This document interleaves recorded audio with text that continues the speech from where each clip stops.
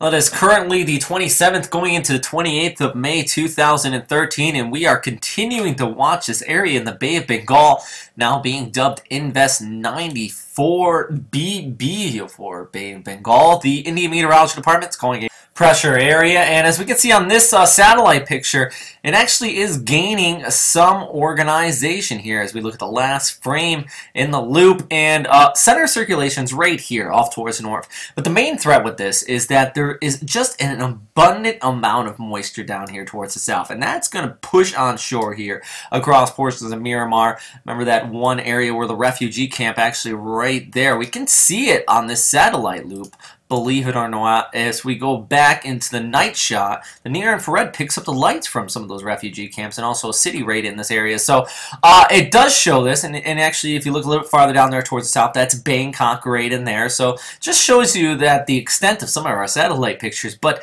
as we loop this through, you can see that moisture pushing near the coastline. So this is going to be creating some heavy rainfall. There's about 150 to 200 millimeters of rain coming around this area. Very dry to the northwest, but uh, it's just a small pocket right in here, and that's about it. Actually, Chennai, you saw temperatures upwards of 46 degrees today, I believe, and that's the warmest apparently in six years. So heating up, and that's going to allow for more moisture to be held into the atmosphere. So even here in the water vapor imagery, you can see that center of circulation. This is definitely a low pressure area.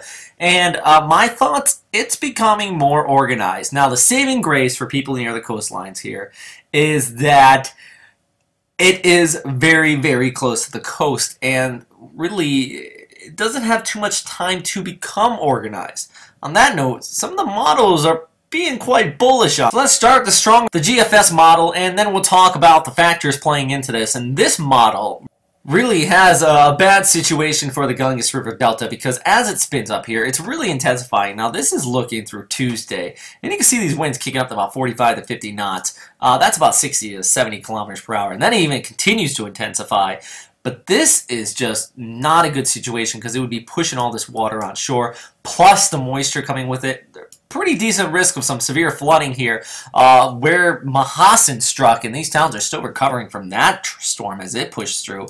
While this particular scenario would be the intensity or the equivalent of intensity of Mahasen as it starts to make landfall here and also the heavy rainfall coming with it. Let's actually switch this up and look at the European model for the exact same time. Now this is Thursday early morning and they even have, now not as intense, making a landfall in a similar area, pushing those winds onshore, upwards of tropical storm strength at the very least. I mean, these areas in the yellow uh, are almost quite tropical storm strength. They're almost cyclonic storm strength. If we start to see some oranges pop up like right there, that would indicate, well, that would indicate a cyclonic storm. Just intensity-wise, but it's nothing different, really. But the main threat with this storm, if it was to develop further, which it really looks like it's going to, is going to be the heavy rain. Now let's pull up the MSL from GFS, that one model that did show this intensification.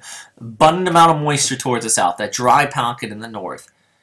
That's going to wrap around this as it does push off there towards the north. But it really, it's going to remain drier off here. If you're farther inland in here in India, don't expect a deluge of rain. It's near the coastal areas where we are going to see this come down, especially off here towards Myanmar, uh, southern portions of Bangladesh, and far eastern portions of western India. And as that continues to push on shore, uh, there are some areas here, really, they're going to see upwards about 3 to 400 millimeters. And that is by the end of the week. But this is just showing the upper level flow. And like I said, there's a high pressure off here towards the east. And that's really one of the reasons why this is buffering. Another high there towards the west. And this is just going to be sitting right in the middle of these two areas. And slowly lingering, slowly pushing off there towards the west. So if this high remains in place, it's going to follow along the western periphery of that. So likely landfall right near the India-Bangladesh border. As a weak tropical storm, my thoughts, I think that is extremely plausible. I mean, as we loop this back and forth right now, I mean, believe it or not, it looks like a developing tropical system, at the very least a tropical depression. And with vertical wind shear right around uh, about 15 to 20 knots under it and a little bit stronger. They are farther towards the south, likely flaring up that convection, but then we just pull up the humidity at the same time, and it is just moist over this. Plenty of moisture off there towards the east. The dry spot right in here, that's likely going to help keep this in check that moisture really outweighing it. So, like I said, my thoughts one more, and I'll draw it here on this water vapor imagery. I'll likely put some of my thoughts on the web page as well just uh, using a photo there, so just uh, continue to go check that out. But it's right here, likely going to intensify to a weak tropical storm.